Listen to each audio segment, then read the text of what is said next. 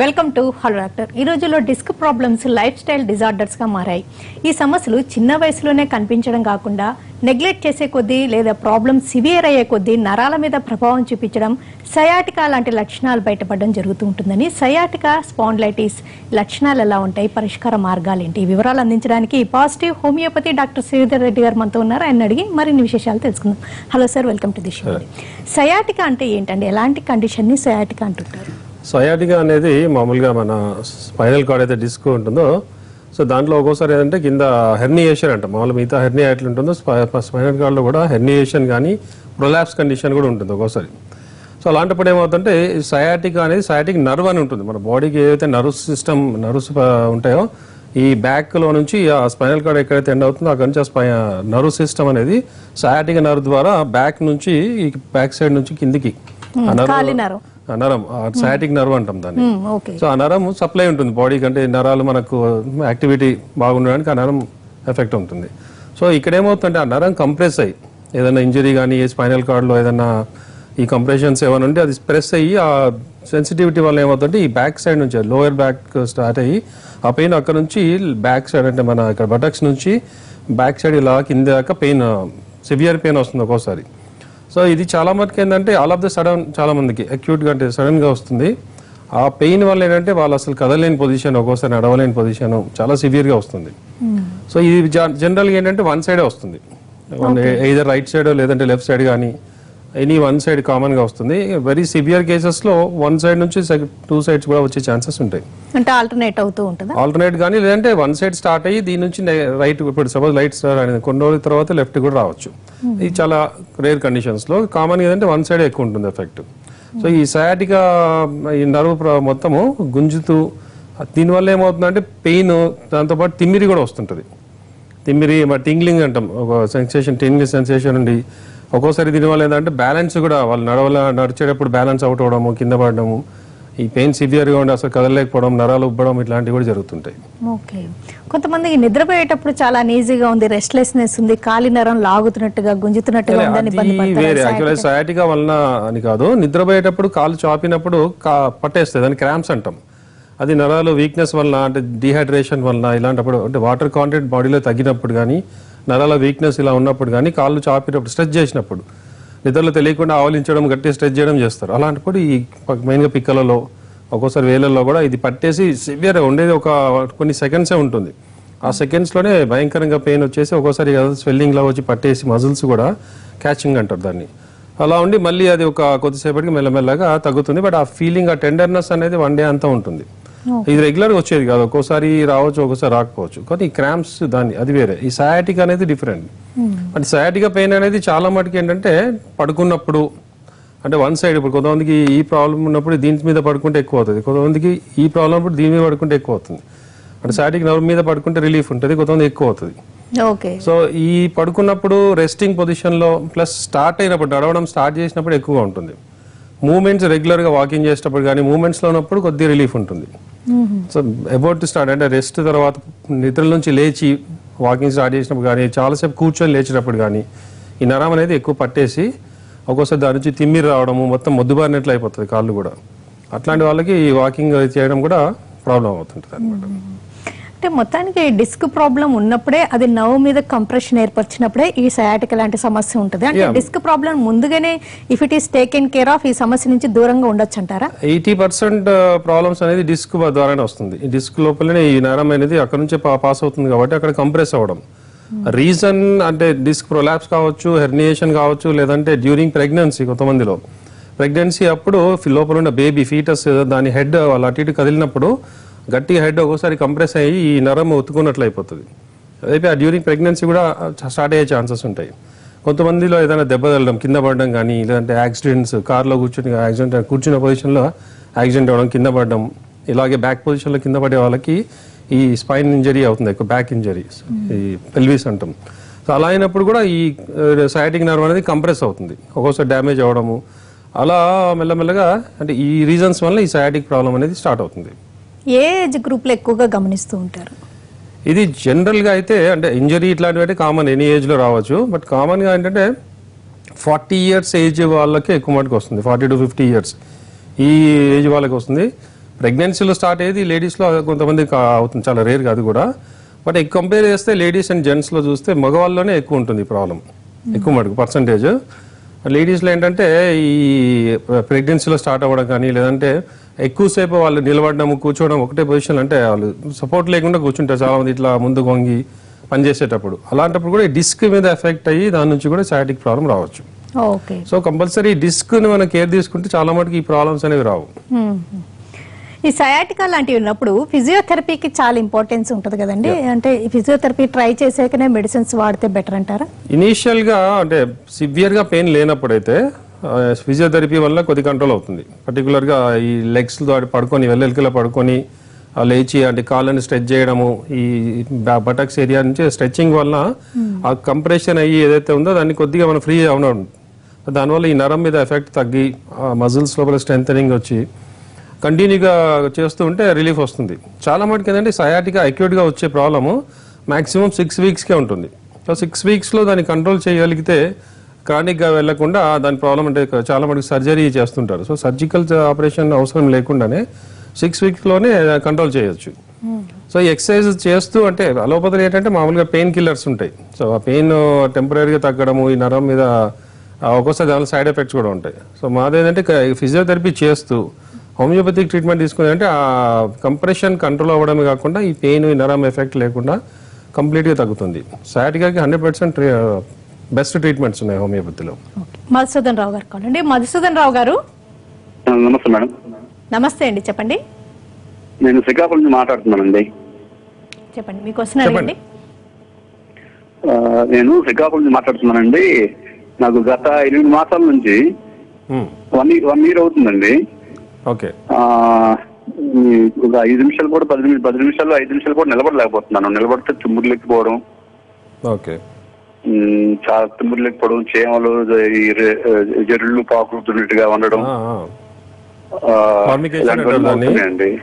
నడుము నొప్పి పెద్దగా ఉండట్లేదు కానీ అండి తింబర్లు ఎక్కువ ఉంటాయి కానీ ఈ బాధ ఎక్కువైంది. తుమ్ములు మాత్రం చాలా ఎక్కువ అయిపోతుంది నొప్పి భరించలేకపోతున్నానండి.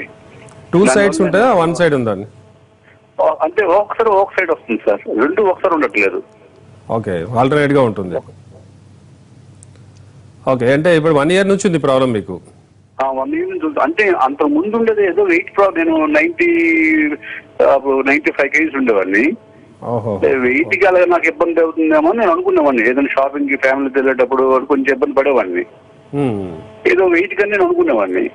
అప్పుడు కొంచెం వన్ ఇయర్ నుంచి ఎక్కువైంది అనమాట అప్పుడు నేను కొంచెం డాక్టర్ గారు కన్సల్ట్ చేయడం అని జరిగింది. ఈ హోమియో వాడుతున్నాను ఇంగ్లీష్ మెడిసిన్ వాడుతున్నాను ఆయుర్వేదిక్ వాడుతున్నాను దేని వల్ల నాకు ఫలితం ఏమీ లేదు. ఏం చేయాలో అర్థం అవ్వట్లేదండి. అదే ఇది మీకు మెయిన్ ఏంటంటే సర్క్యులేషన్ ప్రాబ్లం ఉంది మీకు. సర్క్యులేషన్ సరిగ్గా లేకపోవడం వల్ల ఈ నరాలు సప్లై సరిగ్గా లేకపోవడం వల్ల కూడా తిమ్మిర్లు వస్తుంటాయి. ఇది సయాటిగా కాదు మీకు జనరల్ బాడీ సర్క్యులేషన్ తక్కువ ఉండడం నర్వ్ సిస్టమ్ వీక్గా ఉండడం వల్ల కూడా ఇలా అవుతుంది. అది ఒబెసిటీ వల్ల కావచ్చు లేదంటే జనరల్ వీక్నెస్ వల్ల కూడా కావచ్చు. సో మీ పెయిన్ కిల్లర్స్ అవి వాడకుండా మీరు కాన్స్టిట్యూషనల్ ట్రీట్మెంట్ హోమియోపతిలో కూడా సిమ్టమేటిక్గా ఇస్తే టెంపరీ రిలీఫ్ వస్తుంది మళ్ళీ వచ్చేస్తుంది. కాన్స్టిట్యూషనల్గా తీసుకుంటేనే ఇమీడియట్గా తగ్గుతుంది ప్లస్ కంప్లీట్గా క్యూర్ అవుతుంది. కోర్స్ వాడాలి కంటిన్యూగా సో మీరు పాజిటివ్ హోమియోపతికి రండి మీరు ఆల్రెడీ చేయించిన రిపోర్ట్స్ ఏమైనా ఉంటే అవి కూడా తీసుకొని రండి.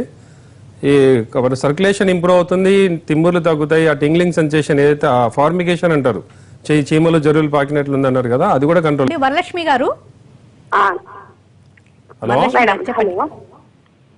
చెప్పమ్మా.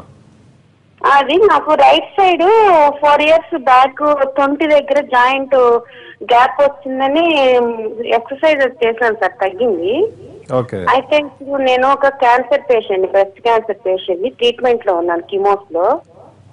అయితే ఒక వన్ మంత్ నుంచి మోకాల దగ్గర నుంచి అదే రైట్ సైడ్ కాలు మోకాల దగ్గర నుంచి పైన ట్వంటీ ఫైవ్కి నరాలన్నీ ఉబ్బి బాగా సడన్గా నిన్న నైట్ పో పోటు విపరీతమైన పోటు సార్ అది. ఇట్లా కాలు పట్టి ఒకటిలా నడవనివ్వటం లేదు. ఓకే. ఫోర్ వీక్స్ నుంచి. హలో అది కిమో మూలాన్ని కాదని అంటారు వాళ్ళు మరి ఏమన్నా.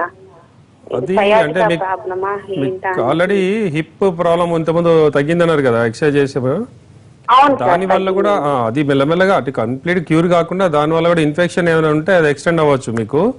ప్లస్ కీమోథెరపీ వల్ల కూడా అవుతుంది. వాళ్ళు కాదని చెప్తారు కానీ కీమోథెరపీ వల్ల చాలా సైడ్ ఎఫెక్ట్స్ ఉంటాయి. దాంట్లో ఒకటి ఈ బోన్ స్ట్రెంత్ తగ్గడం జాయింట్స్లో ఎఫెక్ట్ అవ్వడము ఇది కూడా అవుతుంది కీమోథెరపీ వల్ల కూడా. సో దానివల్ల కావచ్చు లేదంటే ఈ బోన్ వీక్నెస్ వల్ల దానివల్ల కూడా కావచ్చు. మీరు అంటే ఈవెన్ కీమో తీసుకుంటూ కూడా హోమియోపతి వాడచ్చు. మీరు హోమియోపతి కాన్స్టిట్యూషనల్గా వాడితే ఈ ప్రాబ్లం తగ్గడమే కాకుండా మీకు ఈవెన్ క్యాన్సర్ స్ప్రెడ్ కాకుండా కూడా మదర్ మెడిసిన్స్ ఉన్నాయి. క్యాన్సర్ని కంట్రోల్ చేసి మీకు కంప్లీట్గా స్ప్రెడ్ కాకుండా మెల్లమెల్లగా దాన్ని లక్షణాలు కూడా తగ్గించడానికి కూడా మా కాన్స్టిట్యూషనల్ ట్రీట్మెంట్ ఉంది. సో మీకు రెండింటికి ఈ బోన్స్ ఈ ప్రాబ్లంకి ప్లస్ క్యాన్సర్కి రెండింటికి కలిపి ట్రీట్మెంట్ తీసుకోవచ్చు. సో మీరు పాజిటివ్ హోమియోపతికి రండి మీకు దానికి దీనికి రెండింటికి కూడా కంప్లీట్గా తగ్గే ఛాన్సెస్ ఉన్నాయి. సుప్రజ గారు కాల్. సుప్రజ గారు? చెప్పండి. గుడ్ మార్నింగ్ మేడం మ్, సుప్రజ గారు గుడ్ ఆఫ్టర్నూన్ అండి. మీకు క్వశ్చన్ అడగండి. యాక్చువల్లీ మేడం మ్, కజిన్కి ఒకళ్ళకి కింద ఇట్లా ఇది ఉంటది కదా కీలు? యా ఆ, అరికాలుకి జాయింట్కి ఉంటుంది కదా సార్ దానికి వచ్చేసేటప్పటికి బ్లడ్. క్లాట్ అయింది. ఓకే ఆ నరానికి బ్లడ్ క్లాట్ అయింది అనమాట బ్లడ్ క్లాట్ అయ్యేటప్పటికి కొన్ని రోజుల తర్వాత అది బైక్ ఇక్కడ తగిలి బయటపడింది. బ్లడ్ క్లాట్ అయిందని. డిస్లొకేట్ అయింది. ఓకే. అది హాస్పిటల్లో చూపించారు మైనర్ సర్జరీ చేశారు దానికి. అదే అదే. రీప్లేస్ చేస్తారు. అయినా కానీ ఇప్పుడు లైట్గా అది పెయిన్ అనిపించడం ఒక్కొ- ఒక్కొక్కసారి లైట్గా బ్లీడింగ్ బయటికి రావటం అలా వస్తుందండి. Okay okay. దానివల్ల ఎలాంటి ఇదేమి ఉండదు కదా? అంటే వాళ్ళు ఆ సర్జరీ చేసిన తర్వాత అది కరెక్ట్ హీల్ అయిందా టోటల్గా కాలేదా కరెక్ట్ గానే హీల్ అయిందని చెప్పారు మరి కానీ అలాగా బ్లీడింగ్ లైట్గా వస్తున్నట్లు ఎప్పుడన్నా ఒకసారి అలా వస్తుంది. బ్లీడింగ్ ఒకటేనా పస్సు కూడా ఏదైనా వస్తుందా? ఏంటండి? చీము చీము వస్తుందా? లైట్గా అదంటే ఇన్ఫెక్షన్ అయింది దానికి. సెప్టిక్ కండిషన్ ఏదైనా అయి ఇన్ఫెక్షన్ అయి ఉంటుంది సో ఆ బ్లీడింగ్ ఇన్ఫెక్షన్ అది కంట్రోల్ అవ్వడానికి ప్లస్ ఇది సరిగా హీల్ కాకపోతే కూడా ఒక్కోసారి ఆ జాయింట్ డిస్లొకేట్ అయినది మళ్ళీ కరెక్ట్ పొజిషన్లో కూర్చోకుండా హీల్ ప్రాపర్గా కాకుండా కూడా ఇలాంటి ఇన్ఫెక్షన్స్ అవుతుంటాయి.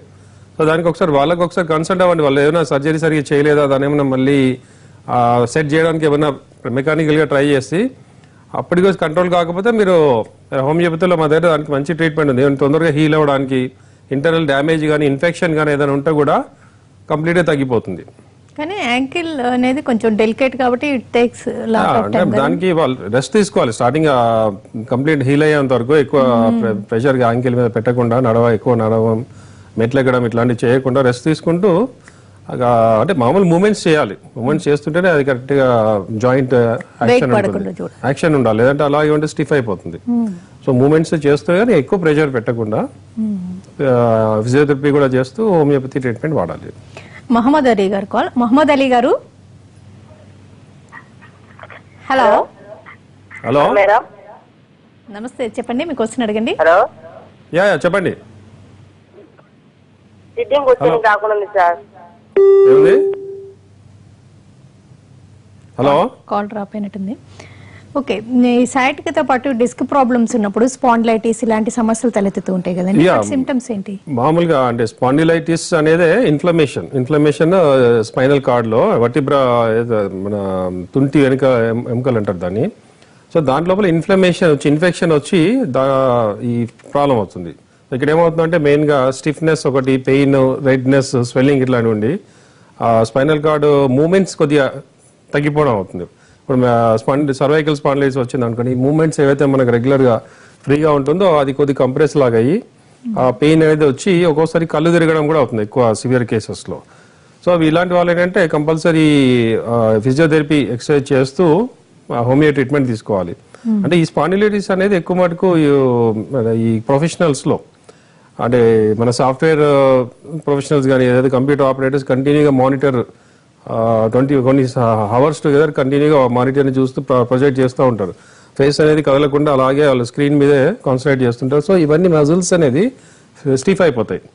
మూమెంట్ ఎక్కువ లేకుండా ఉండడం వల్ల మజిల్స్ స్టిఫ్ అయిపోయి ఆ మూమెంట్స్ తగ్గడం వల్ల ఈ ఇన్ఫెక్షన్స్ అనేది ఇన్ఫ్లమేషన్ వచ్చి ఈ స్పాండిలైటిస్ ఎఫెక్ట్ వస్తుంది. ఒక సివియర్ కేసెస్లో ఏంటంటే ఆ నెక్ పెయిన్తో పాటు షోల్డర్ కూడా ఎఫెక్ట్ అయ్యి చేతుల్లో కూడా ఎఫెక్ట్ అవుతుంది. స్పైనల్ కార్డ్ టోటల్గా స్పాండిలైసిస్ ఎఫెక్ట్ అలాంటి వాళ్ళలో కూడా సివియర్ కేసెస్ సయాటిగా వచ్చే ఛాన్సెస్ ఉంటాయి. సో స్పైన్ ఎఫెక్ట్ అయ్యి నుంచి సయాటికా నర్వ్ కూడా కంప్రెస్ కావచ్చు. సో ఈ స్పాండిలోసిస్ ఓన్లీ సర్వైకల్ ఏరియానే కాదు. నడుములో కూడా రావచ్చు బ్యాక్ కూడా రావచ్చు. సో ఇవి పడుకునేటప్పుడు కూడా కంపల్సరీ బ్యాక్ మీద పడుకోవడం అంటే దానికి మన ప్రికాషన్స్ ఫ్లాట్ సర్ఫేసెస్లో అంటే ఎత్తు పొలాలు ఉండి పరుపు సరిగా లేకపోవడం మెయిన్గా కాటన్ పరుపు ఉంటుంది. సో దాని మీద పడుకునే వాళ్ళు ఈ ప్రాబ్లమ్స్ ఎక్కువ ఉంటాయి. సో ఫ్లాట్గా పడుకొని తల కింద కూడా ఎక్కువ పల్చని దిండు పెట్టుకోవాలి. పెట్టుకొని మామూలుగా పొజిషన్ నార్మల్గా ఉండాలి. సైడ్కు పడుకునే వాళ్ళు ఏంటంటే ఈ బెండ్ అవ్వడం వలన ప్లస్ ఇక్కడ నుంచి ఇక్కడ ఏదైతే గ్యాప్ ఉందో సో ఇలా పడుకున్నప్పుడు side కి ఈ బెండ్ అయిపోయి ఈ పెయిన్స్ స్టార్ట్ అవుతాయి. అలాంటి వాళ్ళంటే side కి పడుకునే అలవాటు ఉన్న వాళ్ళు టూ పిల్లోస్ పెట్టుకోవడం అంటే ఈ గ్యాప్ని మెయింటైన్ చేస్తూ చేసి చేస్తే ఆ ఎఫెక్ట్ తక్కువ ఉంటుంది ఈ సర్వైకల్ ప్రాబ్లమ్స్. వీళ్ళు కంపల్సరీ ఫిజియోథెరపీ చేస్తుండాలి. ఓకే. వైజాగ్ నుంచి లక్ష్మి గారు. లక్ష్మి గారు? ఆ, అవునండి. లక్ష్మి గారు నమస్తే చెప్పండి. నాకు నాకు నమస్తే అండి. నాకు నడుము నొప్పి అండి నేను టెస్ట్ అది చేయించుకున్నాను ఎంఆర్ఐ స్కాన్ చేయించుకున్నాను. ఓకే. ఎల్ ఫోర్ ఎల్ ఫైవ్లో లంబర్ స్పాండిలైటిస్ ఉంది అనేసి అన్నారండి. దానికి కొన్ని ఎక్సర్సైజ్లు అవి చెప్పారు. ఎక్సర్సైజ్లు అవి చేస్తున్నాను. నొప్పి ఏమి ఉండదు. బా అంటే ఎప్పుడైనా కొంచెం పని అది ఎక్కువైనప్పుడు నొప్పి అనిపిస్తా. ఉంటది. ఆ, లేదంటే కొంచెం బాగానే ఉంటదండి. వెయిట్ ఏమో ఎయిటీ త్రీ అలా ఉన్నాను. అంటే మరి వెయిట్ తగ్గాలంటే వాకింగ్ అది చెయ్యాలి కదండి. చేయొచ్చు. ఏమో. ఆ, అంటే మోకాలు నొప్పి వస్తుందండి నడుస్తుంటే అదే ఇప్పుడు మీరు ఏం చేయాలంటే ఈ లంబార్ మీకు ఎక్కడైతే ఆ పెయిన్ ఉందో అక్కడ మామూలుగా బెల్ట్ వస్తుంది. సర్జికల్ బెల్ట్ అంటాము. ఆ బెల్ట్ పెట్టుకొని మీరు వాకింగ్ చేయొచ్చు. వాకింగ్ నార్మల్గా చేస్తే మంచిది. బెండ్ అయ్యి అంటే వంగి పని చేయడము వెయిట్స్ లిఫ్ట్ చేయడము ఇలాంటివి చేయకూడదు. వంగి పని చేయడం కానీ వెయిట్స్ పట్టుకొని మెట్లు ఎక్కడం కానీ ఏదైనా బరువు లేపడము ఇలాంటివి చేయడం వల్ల ఈ స్పైన్ మీద ఎక్కువ ఎఫెక్ట్ పడుతుంది. మెయిన్గా నా నడుము ఈ లంబార్ స్పైన్ అనేది నడుము మీద ఉంటుంది. సో ఆ ఎక్కువ స్ట్రెయిన్ చేయకుండా మామూలు వాకింగ్ స్ట్రెచింగ్ ఎక్సర్సైజ్ చేయాలి. స్ట్రెచింగ్ ఎక్సర్సైజ్ చేయడం వల్ల కూడా ఈ స్పైనల్కో మనకు స్ట్రెంత్ వస్తుంది. స్ట్రెంథనింగ్ ఎక్సర్సైజ్ స్పైన్లో ప్లస్ దానికి అటాచ్డ్ ఉన్న మజిల్స్ టెండాన్స్ ఏవైతే ఉంటాయో వాటిలో కూడా స్ట్రెంత్ వచ్చి మీ గ్రిప్ బాగుంటుంది. సో ఆ పెయిన్ కూడా కంట్రోల్ అవుతుంది. కానీ వెయిట్ తగ్గడం ఇంపార్టెంట్ వెయిట్ కూడా తగ్గాలి. బాడీ కేర్ తీసుకోవాలి. స్ట్రెస్ పడకుండా పడుకున్నప్పుడు కూడా ఫ్లాట్గానే పడుకోవాలి. దానివల్ల కూడా ఇది కొద్దిగా కంట్రోల్ అవుతుంది. పెరగకుండా కంప్లీట్గా పోవడం అనుకుంటున్నాం. నాయుడు గారు కాల్ అండి. నాయుడు గారు? నమస్తే అండి మేడం గారు. నమస్తే అండి. నమస్తే నాయుడు గారు చెప్పండి. హలో. చెప్పండి. నమస్తే సార్. డాక్టర్ గారు నమస్తే నమస్తే. అండి. నమస్తే నమస్తే చెప్పండి. సార్, సార్ నా నడుము దగ్గర రైట్ సైడ్ బ్యాక్. బ్యాక్ నుంచి అరికాల వరకు లాగేస్తుంది సార్. Okay okay. అరికాలు అరికాలు తిమ్మిరండి నెప్పు నెప్పు ఒక అరగంట పడుకునేసరికి పడుకుని లేచేసరికి కాలు కాలు కింద పెట్టలేకపోతున్నాం సార్. ఓన్లీ మడం మడం నుంచి నడుము దగ్గర నుంచి బ్యాక్ బ్యాక్ రైట్ అండి. Yeah yeah yeah. అవును సార్ అవును సార్. అదే ఇవి చాలా మటుకు ఏంటి నరాలకు సంబంధించిన ఎఫెక్ట్స్ అన్ని కూడా రెస్ట్ తీసుకున్న తర్వాత ఎక్కువ ఉంటాయి. పడుకున్నా కానీ లేదంటే చాలాసేపు కూర్చొని లేచేటప్పుడు కానీ మళ్ళీ ఒక- ఒక రెండు మూడు నిమిషాలు ఒక ఐదు నిమిషాలు వాకింగ్ చేసి అంటే ఫ్రీగా మూమెంట్స్ వచ్చిన తర్వాత రిలీఫ్ వస్తుంది. సో ఇది నర్వస్ అంటే సాటిగా ఎఫెక్ట్ కావచ్చు లేదంటే ఈ మీకు హీల్ లోపల పెయిన్ వస్తుంది. దాన్ని కాల్కేనియస్ ఫర్ అంటారు. అంటే లైట్గా గో బోని గ్రోత్ ఉంటుంది. సో దానివల్ల కూడా కాలు పెట్టినప్పుడు ఫస్ట్ బాగా సివియర్గా భరించలేనంత నొప్పి ఉంటుంది. మెల్లమెల్లగా ఒక ఐదు నిమిషాలకు పది నిమిషాలకు కొద్ది రిలీఫ్ ఉంటుంది. సో ఇలాంటి వాటిలో మీరు నెగ్లెక్ట్ చేయకుండా ఇమ్మీడియట్గా ట్రీట్మెంట్ స్టార్ట్ చేయాలి. పాజిటివ్ హోమియోపతిలో ఏంటంటే ఒట్టి ఈ బోని పెయిన్స్కి నరాల వాటికే కాకుండా దాన్ని ప్రివెంట్ చేస్తూ మళ్ళీ జనరల్ ఇమ్యూనిటీ బాడీ ఇమ్యూనిటీ పెరుగుతూ ఈ బోన్స్ లోపల మజిల్స్ లోపల నరాల లోపల స్ట్రెంత్ వచ్చేట్లు చేస్తాం మా ట్రీట్మెంట్. సో దానివల్ల ఏంటంటే ఇంప్రూవ్మెంట్ తగ్గడమే కాకుండా మళ్ళీ రాకుండా ప్రివెంట్ చేస్తుంది. కంప్లీట్ క్యూర్ ఉంటుంది. మొహమ్మద్ అలీ గారు కాల్. మొహమ్మద్ అలీ గారు? హలో మేడం నమస్కారం మేడం. నమస్తే చెప్పండి. మేడం కూర్చోనికి. చెప్పండి. కూర్చుంటే మోకాల నుంచి పై వరకు నలుగు వరకు నయ్యడము కాలు ఉమ్. ఇంకా? నొప్పి సార్ నొప్పి ఇంకా. పెయిన్. ఓకే. అంటే ఇప్పుడు నైట్ నైట్ టైం ఉంటుందా? పడుకున్నప్పుడు లేదా నడిచేటప్పుడు ఉంటుందా? కూర్చున్నప్పుడు ఉంటుంది? సిట్టింగ్ చేసినప్పుడు ఉంటుంది. కూర్చున్నప్పుడు. ఓకే. ఎంతకాలం నుంచి ఉంది? ఎనిమిది నెలలు తొమ్మిది నెలలు అవుతుంది. ఎనిమిది నెలలు తొమ్మిది నెలలు. ఓకే. అంతకుముందు ఏమన్నా దెబ్బ తగలడం కానీ ఎట్లా ఏమైనా ఏమైనా కింద పడడం? ఆహా, ఏం ఆహా, ఏం కాదు ఏం కాలేదు. ఓకే. అంటే రెండు కాలాలకు ఉంటుందా వన్ సైడ్ ఉంటుందా? రెండు కార్లకు ఉంటుంది. రెండు కాలుగా ఉంటుంది. ఎక్కడ మీరు ఎక్కడ ఉండేది? కల్లర్ డిస్టిక్. కర్నూలు. కర్నూలా? అవును సార్ ఆ, ఇప్పుడు ఏం వాడుతున్నారు మీ ట్రీట్మెంట్? ఇంకా ఏం ట్రీట్మెంట్ తీసుకోరా సార్? లేదు తీసుకోవాలి ఇది. ఎందుకంటే తిమ్మిరి ఇవన్నీ వచ్చాయంటే బ్లడ్ సర్క్యులేషన్ నరాల సప్లై సరిగా లేకపోతే తిమ్ముర్లు వస్తాయి. అది నెగ్లెక్ట్ చేస్తే మెల్లమెల్లగా కాళ్ళు పడిపోవడం కూడా జరుగుతుంది. నరాల వీక్నెస్ వల్ల పారాలసిస్ లాగా కూడా రావచ్చు. సో కర్నూలులో మా పాజిటివ్ హోమియోపతి క్లినిక్ ఉంది. అక్కడికి వచ్చి ఇమీడియట్గా చూపించుకోండి. ఇది కంట్రోల్ అవ్వడమే కాకుండా మళ్ళీ ఫర్దర్గా రాకుండా కంప్లీట్గా పోతుంది. కొన్ని కొన్ని రోజులు కోర్సు వాడాలి. మీకు ఆల్రెడీ నైన్ మంత్స్ అంటున్నారు. ఒక ఆరు నెలల నుంచి సంవత్సరం ఆ టైప్లో మెడిసిన్స్ ట్రీట్మెంట్ కంటిన్యూ కోర్స్ వాడితే కంప్లీట్గా తగ్గి మళ్ళీ మీకు రాకుండా ప్రివెంట్ అవుతుంది. అంటే ఈ సమస్యలకి హోమియో ట్రీట్మెంట్తో పాటు ఇంకా ఎలాంటి సపోర్టివ్ మెథడ్స్ ఆల్టర్నేటివ్ థెరపీస్ కానీ లేకపోతే ఏదైనా ట్రీట్మెంట్స్ కేర్ తీసుకుంటే మంచిదంటారు? అంటే ఎక్కువ మటుకు ఈ బోనీ ప్రాబ్లమ్స్ కానీ నరాల ప్రాబ్లమ్స్ కానీ చాలా మటుకు సెడెంటరీ హ్యాబిట్స్ ఉన్న వాళ్ళలో అంటే ఫిజికల్ యాక్టివిటీ తక్కువ ఉన్న వాళ్ళలో వాళ్ళలో ఒబేసిటీ ఉన్న వాళ్ళలో ఇలాంటి వాళ్ళలో ఎక్కువ వచ్చే ఛాన్సెస్ ఉంటాయి. కొంతమందికి ఏమో హెరిడిటరీగా అంటే జెనెటికల్గా వచ్చే ఛాన్సెస్ ఉంటాయి. సో వీళ్ళకి ఏంటంటే ఫిజికల్ యాక్టివిటీ అనేది చాలా ఇంపార్టెంట్ సో హోమియో ట్రీట్మెంట్ తీసుకున్నా వేరే ట్రీట్మెంట్ ఏది తీసుకున్నా కూడా వాళ్ళకి ఫిజికల్ యాక్టివిటీ అంటే ఎక్సర్సైజ్ మెయిన్గా ఈ నరాలు ఇలాంటి వాటిలో ఏంటంటే స్ట్రెచ్చింగ్ ఎక్సర్సైజ్ అని ఉంటాయి. ఈవెన్ సయాటికాలో కూడా స్ట్రెచింగ్ ఎక్సర్సైజ్ అంటే వెల్లెలుకలో పడుకొని కాళ్ళు చాపి బాడీని ఇట్లా స్ట్రెచ్ చేయడం ఇలాంటి కొన్ని పీజియాన్ పొజిషన్ అని అంటాం. అది దాన్ని మన ఇంటర్నెట్లో కొడితే కూడా దాన్ని వీడియోస్ వస్తుంటాయి. సో ఈ పొజిషన్స్ వల్ల కూడా ఈ నరాల లోపల స్ట్రెంత్ రావడం ప్లస్ రిలాక్స్ అవుతుంటాయి. పట్టేసిన ఏదైతే ఉంటుందో దాంట్లో రిలాక్సేషన్ సో దీనివల్ల రిలీఫ్ ఉంటుంది. సో రిలీఫ్ ఉండి కంటిన్యూగా కొన్ని రోజులు చేసేటప్పటికి స్ట్రెంత్ అయ్యి ఆ, మళ్ళీ ప్రివెంట్ అయ్యే ఛాన్సెస్ ఉంటాయి. సో దాంతో పాటు మన ఇమీడియట్ రిలీఫ్ కోసం హోమియోపతి ఆ, వాడుతూ ఈ ఫిజియోథెరపీ ఎక్సర్సైజ్ చేస్తే చాలా మంచిది. అంటే క్విక్ రిలీఫ్ ఉంటుంది పర్మనెంట్ రిలీఫ్ ఉంటుంది. ఓకే ఎప్పుడైనా కంప్లీట్గా రెస్ట్ సజెస్ట్ చేసే సందర్భాలు ఉంటాయా? Spondylitis and spondylosis back disc ప్రాబ్లమ్స్లో rest అవసరం. అంటే వాళ్ళు స్ట్రెయిన్ వల్ల అవుతుంది కాబట్టి స్టార్టింగ్ ఏంటంటే ఆ ప్రాబ్లం ఎక్కువ ఉన్న వాళ్ళలో ఫ్లాట్గా నేను చెప్పాను ఫ్లాట్గా పడుకోవాలి. వితౌట్ స్ట్రెయిన్ అంటే ఎక్కువ వెయిట్స్ లేపడం ఇట్లాంటివి చేయకుండా నార్మల్ యాక్టివిటీ చేయొచ్చు బట్ ఎక్కువ ఒక వన్ టూ మంత్స్ అన్న కంప్లీట్ రెస్ట్ ఇవ్వాలి. తర్వాత మళ్ళీ కొద్దిగా ట్రీట్మెంట్ వాడుతుంటే హీల్ అయిన తర్వాత అప్పుడు ఎక్సర్సైజ్ స్టార్ట్ చేయాలి. పెయిన్ సివియర్ ఉన్నప్పుడు వాళ్ళు ఫిజియోథెరపీ చేసిన ప్రాబ్లం ఎక్కువ అవుతుంది ఎక్సర్సైజ్ అనేది వీలైనంత వరకు అవాయిడ్ చేయాలి కంప్లీట్ రెస్ట్ ఇవ్వాలి. బ్యాక్ మీద అది కూడా స్పాండిలైటిస్ ఇట్లా ఉన్న వాళ్ళు బ్యాక్ మీద పడుకుంటూ రెస్ట్ ఇస్తూ అప్పుడు హోమియోపతి ట్రీట్మెంట్ వాడితే ఏంటంటే ఆ పెయిన్ తగ్గడము ఆ కంప్రెషన్ ఇట్లాంటివి ఏమన్నా స్పాండిలోసిస్ లేదంటే జాయింట్స్ అరగడము ఇంటర్నల్గా ఉన్న ఫ్లూయిడ్ ఏదైతే ఉంటుందో మూమెంట్స్ ఫ్రీ ఉండడానికి ఆ ఫ్లూయిడ్ తగ్గిపోయి ఉంటుంది. సో మా మెడిసిన్ వల్ల ఏంటంటే మళ్ళీ ఆ ఫ్లూయిడ్ రికవర్ అవ్వడము ఈ జ- అరిగిపోయిన జాయింట్స్ రికవర్ అవ్వడం మస్కులర్ సపోర్టివ్ టెండన్స్ అండ్ కార్టిలేజెస్లో కూడా స్ట్రెంథనింగ్ మెడిసిన్స్ ఉంటాయి. సో ఆ రెస్ట్ ఇస్తూ ఈ మెడిసిన్స్ వాడి కొద్ది రిలీఫ్ వచ్చిన తర్వాత ఇంప్రూవ్మెంట్ స్టార్ట్ అయిన తర్వాత అప్పుడు ఫిజికల్ యాక్టివిటీ స్టార్ట్ చేయాలి. అంటే ఈ స్ట్రెచింగ్ ఎక్సర్సైజ్ ఇవి చేస్తూ అది కూడా కంపల్సరీ డాక్టర్ పర్యవేక్షణలో కానీ లేదంటే కోచ్ ఆ ఫిజియోథెరపిస్ట్ వాళ్ళ దగ్గర కన్సల్ట్ అయ్యి వాళ్ళ దగ్గర చేస్తూ తర్వాత ఇంట్లో చేసుకోవచ్చు. స్టార్టింగ్ అక్కడ వాళ్ళ దగ్గర చేయడం మంచిది. ఓకేనండి డాక్టర్ శ్రీధర్ రెడ్డి గారు. ఈ స్పాండ్లైటిస్ కానీ సయాటిక డిస్క్ సమస్యలకు కారణాలు లక్షణాలు ఎలా ఉంటాయి? నెగ్లెక్ట్ చేసే కొద్ది ఎలాంటి కాంప్లికేషన్స్ తలెత్తితే హోమియో ట్రీట్మెంట్తో పాటు ఎలాంటి కేర్ తీసుకోవాలో వివరంగా తెలియజేసినందుకు థ్యాంక్స్ అండి ఇది వాళ్ళ హలో డాక్టర్ నమస్తే.